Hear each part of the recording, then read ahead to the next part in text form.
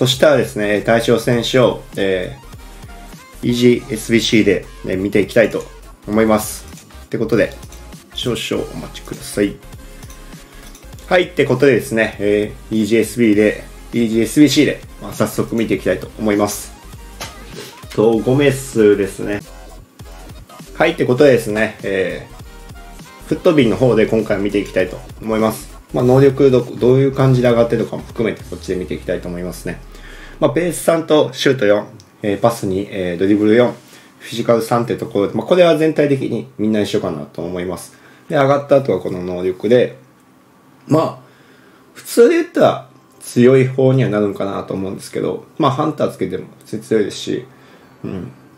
まあ、ただ、使う、使わないで言ったら、まあ、前線なんで、まあ、結構今いい選手持ってる方多いと思うんで、あの、そうですね、まあ、パス系とか高精度、テクニカルを持ってる選手にはファーストタッチはついた感じなんで、まあ、強いとは思うんですけど、なんか無理して買ったりとかしてまではやらなくていいのかなっていう気はしますね。まあ、ただ、本当にファーストタッチつくっていうのが、ファーストタッチがめちゃくちゃ強いと思うので、自分的には。なので、まあ、買って前じゃなくて、持っていればやってもいいっていうような能力値はしてるかなと思いますね。まあ、ハンターなどつけたりとかしたら、まあ、さらに、あの、攻撃的な部分で言うと問題なく強いので、まあ、ぜひ使ってみてほしいなとは思うんですけど、まあ、優先順位としては低いかなと思います。はい。次ですね。この選手も44で、もともと、えー、ちょ、チップシュートかな。もともとのねもう片方はチップシュートなんで、ちょっとそこがもったいないなーっていう気はしますね。なのでまあ、能力強いんですよ。シュート、パス、ドリブル高くて。ただ僕、やっぱり最近パスが結構重要だなと思ってるんで、前線にパスを求める理由としては、やっぱり、大デフラスとか、その、ここ通せたら、点だったのにっていうのがやっぱ前線も多いなっていう中盤じゃなくて前線も多いなっていうのがすごい感じるのでこの数値的にはちょっと気になるかなって気がしますね。ハンターどう多分つけたいと思うんで。なのでまあ、うん、僕はないかなっていう感じですね。はい。モリエンティスですね。まあ92になって、まあ、1個前来た90よりも能力も上がったと。まあ追い越しましたね。で、まあパワーヘッダー持ってて、ファーストタッチ持って、まあやり合うっていうところで、まあ、この選手ももともと相手に疲れるとめちゃくちゃ嫌だったので、まあ、クロス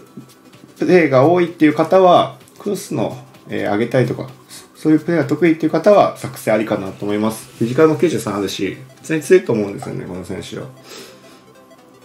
まあ、ただ、やっぱりちょっと重さとか出てくると思うんで、その好みっていうのは結構分かれるかなと思うので、僕は正直作らないかなって感じですね。その、クロスプレーを得意とする方は作成全然ありじゃないかなと思います。はい。えー、フォルダンですね。これは、えー、パワーシュートとファーストタッチで。これ結構いいんすけど、うんとね、全体的に能力もいいんだけど、なこれ逆語だったらもう完璧だったなと思いますね。逆語欲しいなっていう。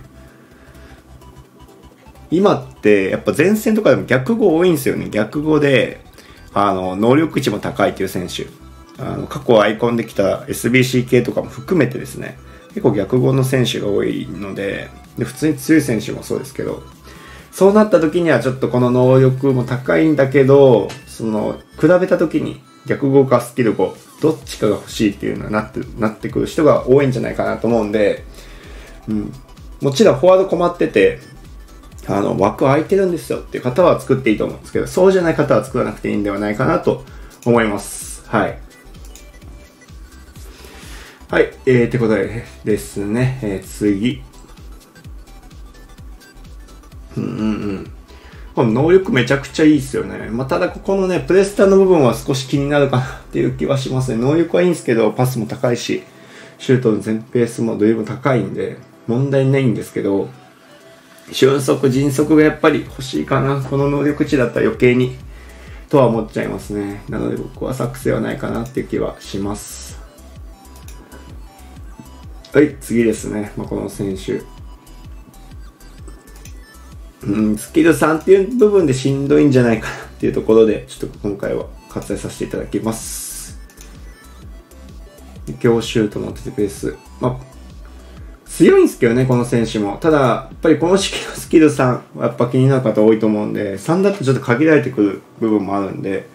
まあ、僕はこの選手じゃないかなっていう気はししています。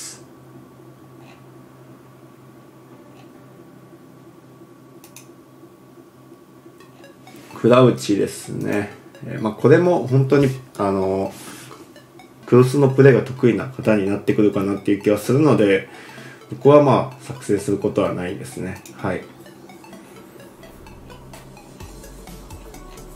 てことでですね、まあこう見ていった時に結局何がいいのかってなったら、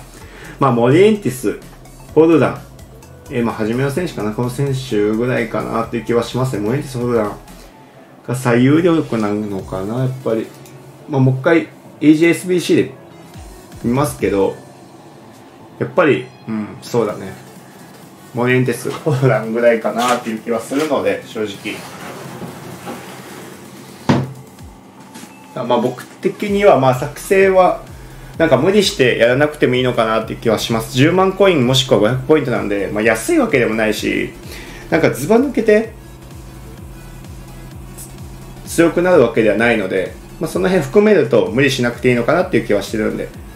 はい。まあ、今回はスルーで僕はいいんではないかなと思います。まあ、もしご質問等あればですね、コメント欄に、えー、よろしくお願いします。それでは、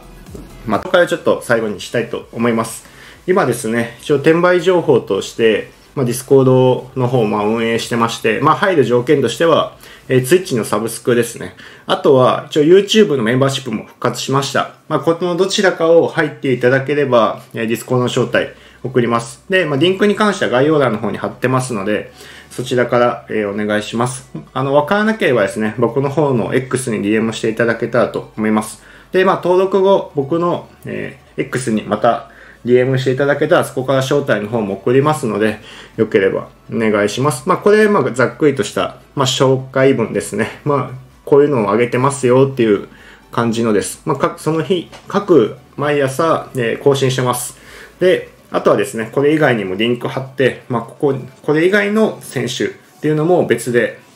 おすすめに出してたりもしてます。あとはですね、まあ、SBC であったりとか、まあ、過去作の TOTY についての、まあ、説明であったりとか、まあ、イベントですね。過去作で出てたイベントとか、まあ、こういう時期はこういうのは高いですよっていうのも紹介とかも、えー、したりもしてます。で、あとはですね、まあ、他にも、まあ、リーク情報とかも、ちょっとここに画面映しちゃってないんですけど、リーク情報とかも、えー、出したりとかっていうのも含めてやってます。はい。まあ、この下にアップグレとか、ブラックフライデーとかもいろいろ貼ってるんですけど、はい。で、まあ自分の成功した案件とかも、その辺も載してるんで、まあ自分がやって転売とかも参考にしてもらえるかなと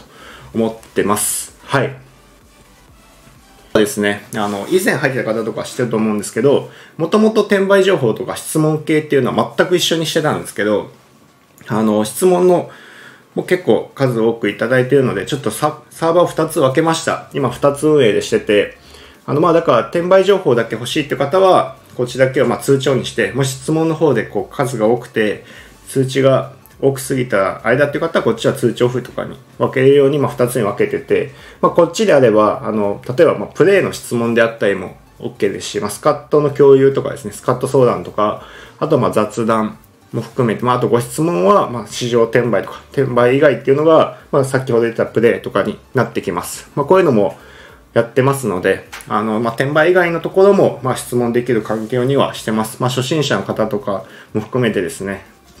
まあ、ちょっと対応もずっとできるわけではないので、極力早く対応はしようとは思ってるんですけど、自分の空き時間とか、まあ、僕以外の方も、あの、お答えしていただいたりもしてるので、よければ興味ある方はぜひ入ってみてはどうかなと思います。はい。